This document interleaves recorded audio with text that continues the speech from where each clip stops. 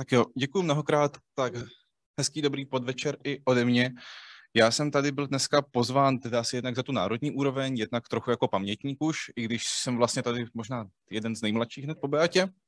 A uh, je to a v zásadě uh, my se snažíme už od té doby, co tady jsme, co vznikala Česká republika 2030, se věnovat zapojování aktérů a snažíme se teda momentálně v posledních, v posledních letech zejména se soustředit na tu, na tu vládní úroveň. Uh, spolupracujeme na přípravě metodiky pro participaci s Ministerstvem spravedlnosti a úřadem vlády. Snažíme se jít sami příkladem v našich aktivitách. Uh, myslíme, že jsme zaseli nějaké semínko, které vzklíčilo i při přípravě řady dalších, uh, řady dalších strategií. A zároveň tedy samozřejmě víme, jak hrozně důležité je to zapojování aktérů a jak, a jak na druhou stranu je to složitá a dlouhodobá práce, protože když jsme tvořili ČR 2030, tak, tak pardon, tak zájem byl velký,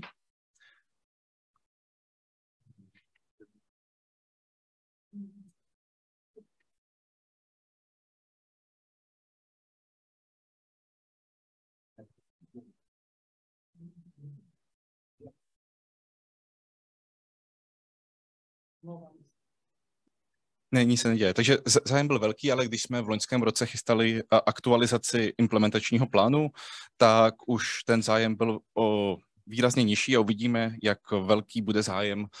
na začátku příštího roku, kdy plánujeme aktualizaci celého strategického rámce. A uh, já, moje vystoupení bude asi vlastně mnohem víc vstažené k té metodice, o které se máme dneska bavit. Uh, protože jsem si ji se zájmem vlastně pročet a prostudoval a v zásadě bych řekl, že to je tak trochu návod vlastně na budování, na budování občanské společnosti ze zdola a na vytváření, na vytváření uh, systémových, systémových předpokladů, které právě ukazují i to, že jsou, že jsou koncentrovány nebo se soustředí na, na masky, Eh,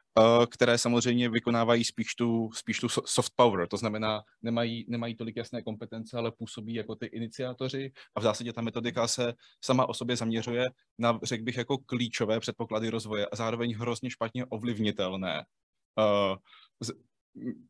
ať už, a v zásadě, ale v zásadě ten postup postup v těch všech oblastech, ať už je to místní kultura a životní styl, sociální podnikání, eh, péče o krajinu a ekosystémové služby, je v zásadě vždycky velmi podobný. Eh, na začátku stojí nějaká analýza aktérů, analýza možností a na, a na to navazuje nějaká metoda, metoda spolupráce, ať už je to, ať už je to foresight, ať už je to, ať už je to tvorba vize, eh, například pro to sociální, sociální podnikání. Mně se líbí, že ta metodika obsahuje vždycky, má to, má to schrnující vlastně okénko, to si třeba myslím, že by stálo za to jako předsadit, udělat tomu opravdu pro ty lidi, co nemají čas jako číst tak rychle, nebo aby se zorientovali, co v tom mají, mít, mít tohleto summary na začátku a zároveň mě tam trochu na tom provokovalo, provokovalo mě trochu to, že vlastně tam jsou identifikovány ty bariéry, ale už vlastně neříkáme, co s těma bariérama máme, máme dělat. A v zásadě mám pocit, že to je v zásadě řekneme, co můžeme dělat, řekneme, kde můžou být bariéry, ale v zásadě mám pocit, že by mohlo být řečeno, a vím, že to je to nejtěžší, protože my se, to snaží, my se tohleto optiku snažíme uplatňovat v rámci těch národních politik v našem implementačním plánu a toho, kde jsou ty bariéry a jak je překonat, jak je zlomit. A často si nameleme, eh, nebo často narazíme na zeď. Takže a úplně jako chápu, chápu, jak je to těžký, ale myslím si, že vlastně ta ta podpora toho, jak překonávat ty bariéry, je hrozně, je hrozně důležitá. Eh, a bohužel mě mrzí, že jsem asi neměl čas prostudovat, nebo jsem nenašel přílohu dvě s kartama případů, abych se podíval, jak může fungovat jako foresight, uh, foresight uh, například jako v praxi pro, pro, pro malou obec. Protože já občas mám vlastně pocit, že ty, že ty globální trendy a megatrendy, že se občas se mají problém jako dohodnout i kolegové, strategové na ministerstvech, co to vlastně jako znamená a představa, že se to bude, že se o tom budou bavit jako občané na, na velmi jako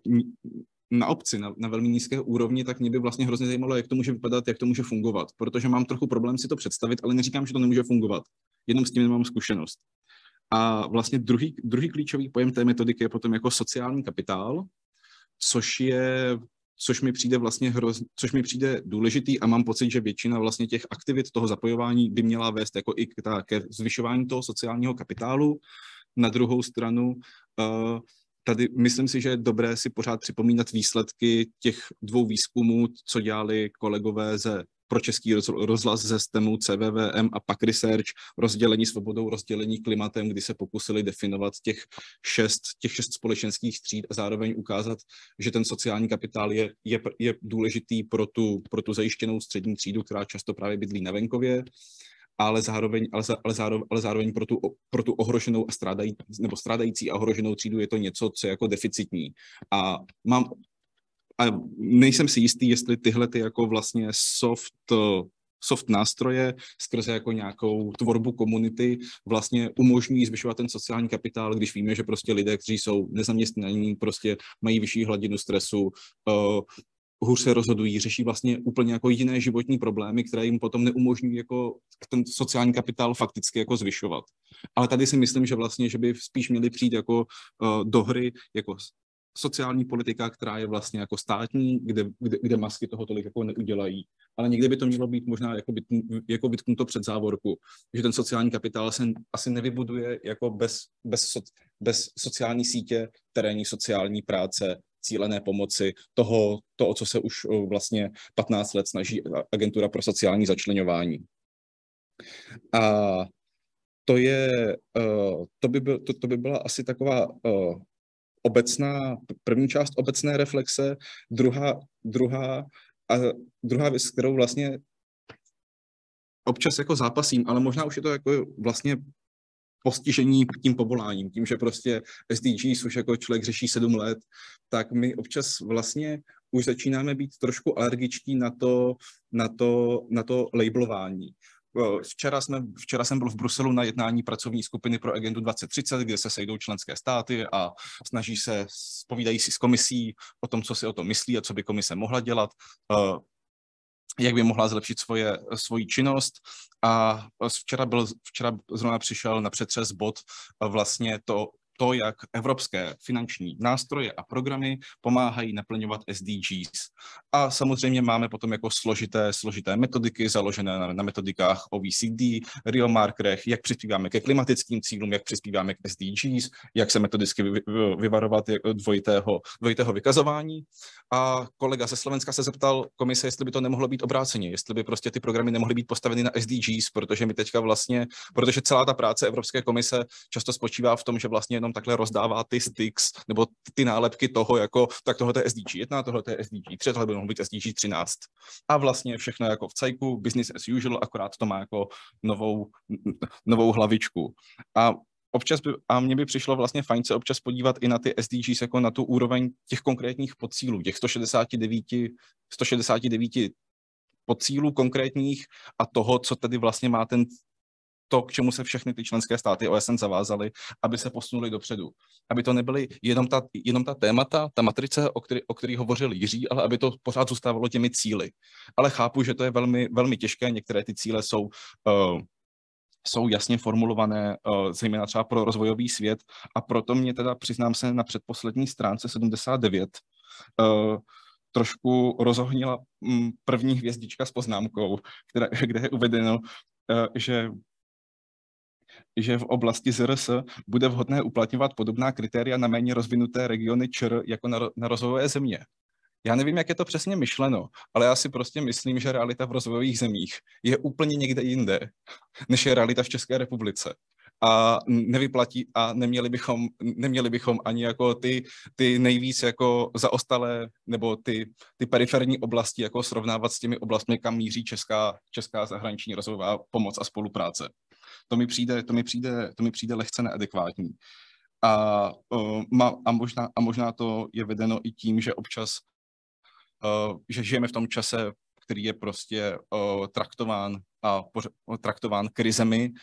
ať už to je COVID, ať už je to ať už, je to, ať už je to válka na Ukrajině, ať už je to politická krize, ekonomická krize, krize maskulinity, já nevím čeho všeho, ale v zásadě je dobré podle mě respektovat to, že